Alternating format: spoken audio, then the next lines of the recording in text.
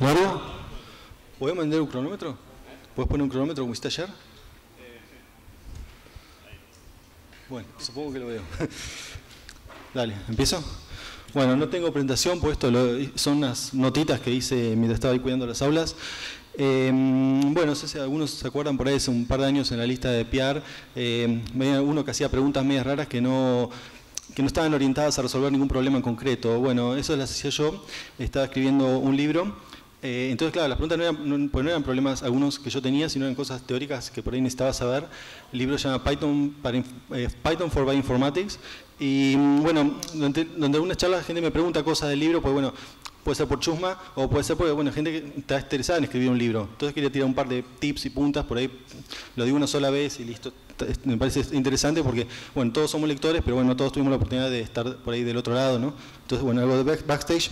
Primero, una pregunta típica es, ah, bueno, ¿te puedes eh, hacer millonario escribiendo un libro? Eh, lo escribís una vez, después eh, no trabajas más porque vivís de los royalties. Bueno, eh, eso es cierto si escribís El Alquimista, 1Q84 o algún bestseller así, digamos. Si no, olvídense. Eh, eso no va a pasar. Ahora voy a tener unos números más o menos cuánto uno puede esperar ganar. ¿Cuáles son las condiciones típicas ¿no? de cuando uno escribe? Bueno, en un libro técnico en general pagan, eh, depende de la editorial, pero más o menos entre un 10 y 15%. del precio, no de tapa, sino precio mayorista. Entonces pónganle un libro de 60 dólares, por decir un precio típico, el, ese es el precio del público, el precio mm, mayorista es 40, así que van a ganar 4 dólares por cada libro de 60 dólares que se vendan.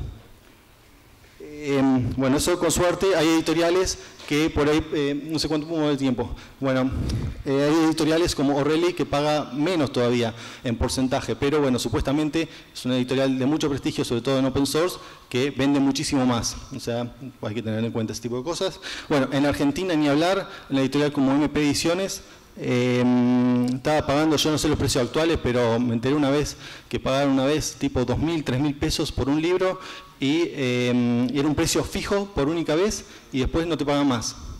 O sea, eh, bueno, es un, robo. Este, em, bueno, está el tema de la autoedición, digo, bueno, lo, puedo, lo edito yo, ¿no? Hay un montón de herramientas para editar y bypassear las editoriales.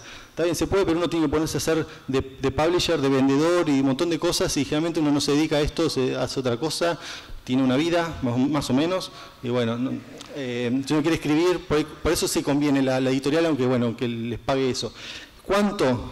En montos, estamos hablando más o menos, depende del éxito, por ejemplo, en mi caso agarré una cosa muy de nicho, Python, digamos que no es todavía el, más, lenguaje más popular, bioinformática tampoco es una especialidad popular, si juntamos dos especialidades poco populares, la intersección obviamente es muy chiquita, pero mm, es normal pensar, por decir un valor, no voy a decir exacto cuánto gané yo, no importa, pero piensen entre, qué tipo, entre 4.000 y 8.000 dólares por un libro que puede estarle entre uno y dos años de, trabajo.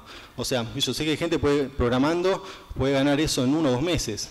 Entonces, bueno, lo que quiero decir es que no es algo que uno lo vaya a hacer por plata. Eh, y entonces, bueno, ¿para qué sirve? Bueno, obviamente, para hacerse millonario no. Eh, bueno, es, es, muy importante para el desarrollo profesional y bueno, y también para aprender, porque verdad aprendí mucho. Gracias.